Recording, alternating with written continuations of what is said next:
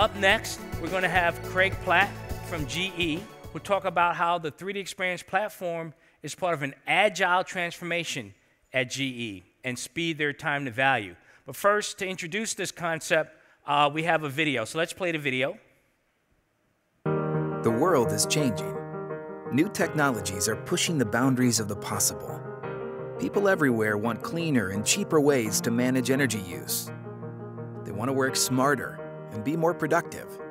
Yet inefficiency and waste still surround us. That's why Current exists. We're a new kind of startup, powered by the resources of GE. A unique blend of GE's proud energy heritage and promising digital future A business that believes partnerships fuel progress and sees products as the foundation of outcomes. Our mission is to make our customers more efficient and productive than ever before. It's an idea called the intelligent environment, and it starts with energy. Applying the world's most advanced lighting and solar technologies to help customers save money and predict costs. But it extends beyond energy into digital networks that shed light on the unseen inefficiency living all around us. We capture value hiding in the walls, floors, and ceilings of almost every type of building imaginable. Current is the digital engine for intelligent environments. Our people are trailblazers, and our style is scrappy. We move fast, learn quickly, and pivot. Working hand in hand with our partners, we deliver the best possible outcomes for our customers. Because at the end of the day, our customers are people just like us. People who see a better way. People who embrace the future. We energize people to see the unseen, revealing the potential of their environment.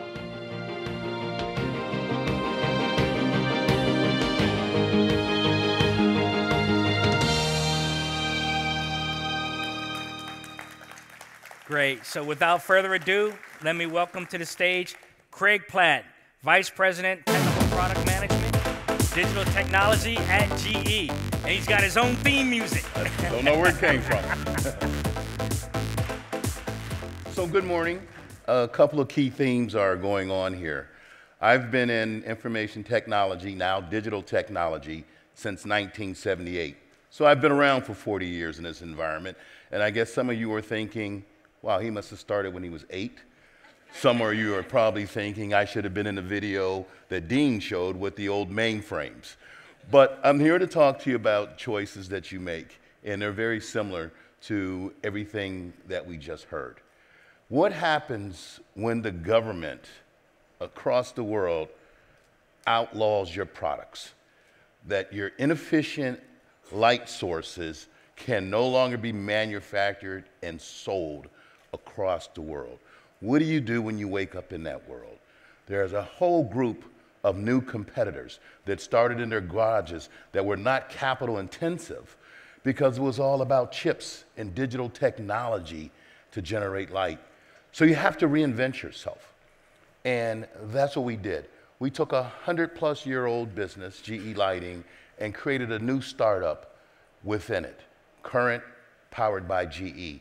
And so when we walk around and we look at lights, we don't see lights. I explained it to uh, everybody at dinner yesterday. I see infrastructure. I see opportunities to create digital environments to help drive customer outcomes, right? So if we're sitting in this room, it can count the number of people, can monitor their temperature, uh, it can alert you to uh, differences in, in, in, in uh, carbon monoxide if anything happens like that. But it also, if I'm walking in a store, it can tell the store owner how much time I spent in front of a particular shelf. And then connecting that to point of sale data to figure out if that product is moving fast enough. So we look at it as a digital environment, intelligent environment. And, and what happens then is we open up that infrastructure, that operating model to other suppliers to build applications that use this infrastructure that we built. So, what was the problem with that? Well, as you can see, uh, there was a great evolution going on at uh, Dassault. But unfortunately, here's where we were. We were way back on MatrixOne platform. Never upgraded since I put it in almost 18 to 20 years ago. So we were on a burning platform. Not only that, we were in a burning data center. All of our uh, infrastructure was combined with GE appliances, which we sold a couple years. So we were on the clock to exit. So to talk about what the previous speakers talked about, Bernard and Dean, we had a choice to make, right? You can go pick up the old servers and put them in a truck, because literally you're going to have to do that, and drive them from Louisville to Cincinnati. It's not far. You could do that, because we were afraid if you tried to port them and put them on new servers, they would never work. So what were we going to do? Dark Ages, Renaissance.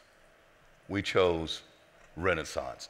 We decided to jump from that 1999 version of MatrixOne uh, PLM to 3D. And we had to do it in a short period of time, and that's what I'm here to talk to you about. So, how did we do it? We heard people talk about silos within businesses, right? We had to create a shared consciousness. Everybody focused on what we are trying to do, understanding that there were risks associated with it and managing it. And then the concept of fire. Fire is a book by uh, uh, Dan Ward, and it stands for fast, inexpensive, restrained, but elegant. So it doesn't mean that you're getting something that's cheap and dirty that's not effective. It is saying that you can do these things if you are focused and restraining yourself on where you're going, and then you can create an elegant solution to get you there. So that was a big part of it. And we actually talked about this last night at dinner trust. And these guys never even saw my presentation, and it's all about trust, and that's how the journey went. We leveraged the intellect of our complete enterprise. In GE, the infrastructure team is horizontal. So we had our GE Core Tech team. First call I made when we knew that we were going to try to do this and we were starting in August, and they were turning off the data center in June. And we had 1,300 users across four continents. And oh, by the way, my team, where you see uh, uh, GE team, five people were on my digital thread team focused on product management and engineering. So suffice to say, we needed help. First person I called, James Olander, GE Power, one of the biggest users of Dassault software. And I said, I need your help. So we put the infrastructure team together with GE Power, and they created platform as a service for us. Infrastructure spun up the software, and then James' team jumped in and installed, well, he spun up the hardware. James' team jumped in and installed the software, and then we partnered with Sogeti, Capgemini now, uh, to build out the configurations. And it was a team of teams. And I could tell you this if I took the estimates that everybody gave me in the beginning, this thing was going to take us 18 to 24 months. We had to make a decision Dark Ages, Renaissance. We convinced the business to go Renaissance and we set some dates, some timetables that says, well, if we have to pivot, we'll know by this date. Probably two months into the project, it was too late to pivot, but they didn't need to know all of that, okay? All of these teams worked not only vertically, but they worked horizontally to get this solution in for us. And we did this using Agile. Now, there were probably 100 plus configurations that we did on the current side of the business and another 100 on the GE lighting side, which is the consumer side. And what we said was we, we did a lot of studying and we looked at our products and our platforms and we looked for synergy in them and we organized them into sprints. And then what we said is here's the five modules that we're implementing. And what are the things that we need to do? What are the number of use cases? Uh, what are the attributes that are needed? Uh, what are the things that need to be configured from a user interface perspective. And the good news is this we also had a little space for customizations. We had three development teams. So every time we ran a sprint, there was a complete team of teams, a pod, that had an architect, lead programmer, uh, the, the configuration people, three complete teams. The first two were to keep the sprints organized because what I learned across 40 years, if you think you have one development team and you're going fast and they're going to be in a room with your users and then you think they're going to have time to develop something before the next group comes in, it doesn't work that way. So we created independent pods across Sogeti, across GE Power, across all of those team of teams. And every time we finished uh, a sprint, getting the use case stories, two weeks later, the sprint would take two weeks. Two weeks later, we could give team members a demo of the application. How did this happen? Well, one thing is a testament to the quality of the software because a lot of it had to be out of the box. I did leave some room for customization, but you had to sit down with me and prove to me why you needed that customization.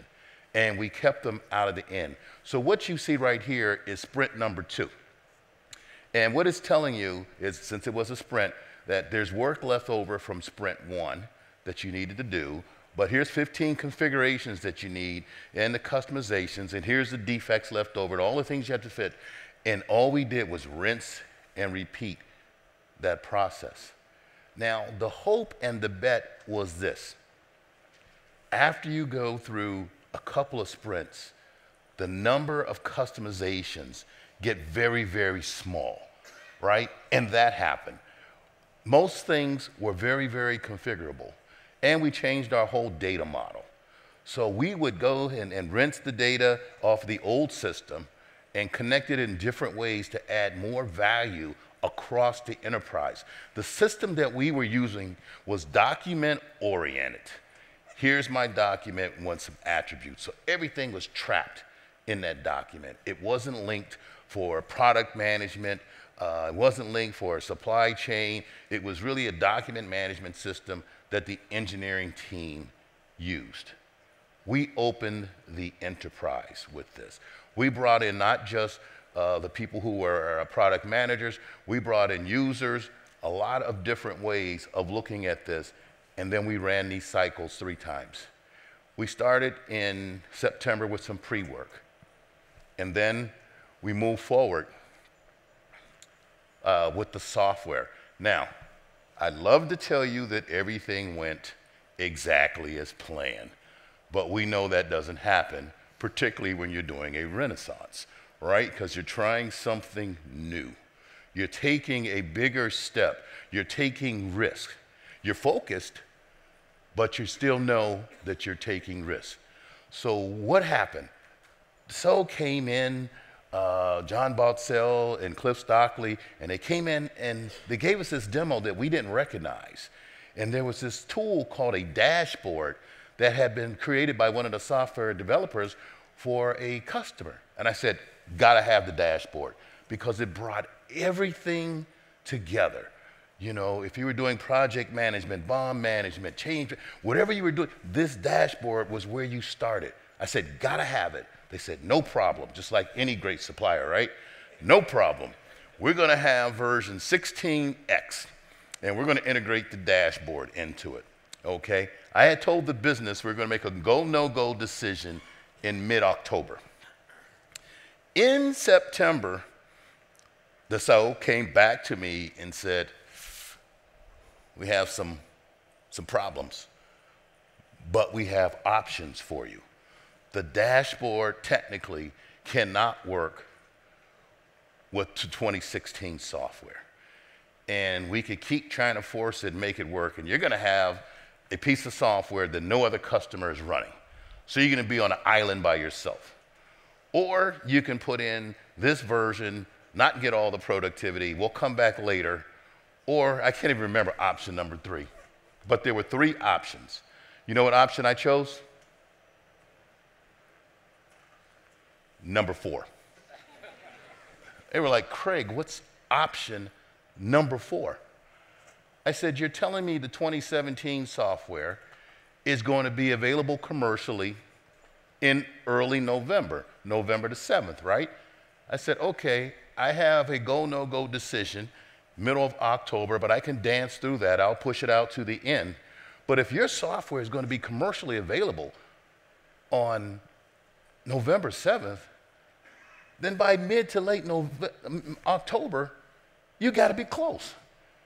I'll take the risk. Well, we have to go talk to people. And Dassault agreed, and on October 25th, we got an early release of 2017 software. Now, they asked me to tell you, since a lot of you are customers in here, that that does not happen a lot. okay? So if you're getting ready to call and say, hey, the Renaissance stuff, uh, give me that with no magic tomorrow, they asked me to tell you it doesn't really happen that way. But that was our journey together. That's why trust was critical, right? I need it, it's going to be solid, we'll bet on it because by that time, it was going to be time to go back up the trucks and go to Louisville and pick up the old servers and drive them up to, uh, uh, uh up to Cincinnati. Uh, you, you, can see how we progressed, right? Once we got the version of software, uh, we, in October, we tested it. We got an updated version in late November. We got it on our servers in December. Meantime, we started our sprints. We started configuring it for how things, uh, how the product lines needed to use it. And we launched April 2nd. We got software November 7th. We launched April 2nd. That's a lot of great work by a lot of great teams working together. And that is the only way that these types of things happen. You have to partner across your whole uh, enterprise to find the intellect, to find the right great thinkers to make things happen. They have to be able to see lights not as things that keep you out of the dark, but as infrastructure for the future.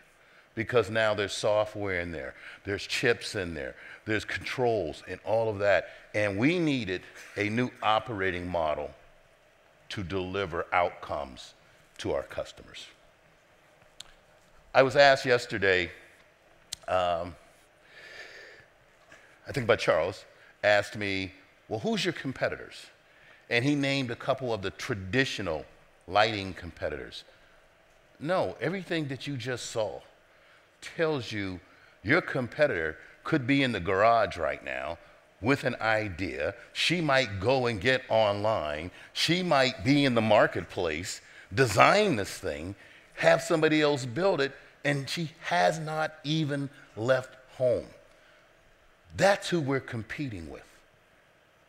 And that's today, and that's real, and that's the fight that we're going on. So, what do we need to have? First of all, we had to get out of the burning MatrixOne platform, and we did it. We had reduced our cycle time on the listing process. It used to be across all these systems by 67%. When I talk about horizontal productivity, that's the digital thread, right? Product management, design, supply chain, down to the shop floor, and we capture all that data in our Predix environment. So we have a digital twin of what you were thinking about as a light bulb. It's not. It's your operating model. It's your new infrastructure systems. And we capture all of that data. What's next? We're extending out to the service side of our business now. We didn't need service before. If you had an incandescent bulb, we knew it was going to burn out in a year. We just waited for you to come back to the store. Now it's infrastructure.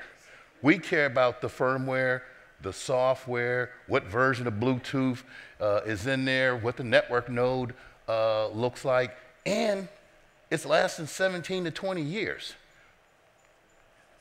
Now we have a service side of our business, right? Whole new operating model. So it has been a great journey. Thank you for allowing me to speak here. I've got two minutes and 30 seconds left on the clock to hand back to the next presenter. Thank you.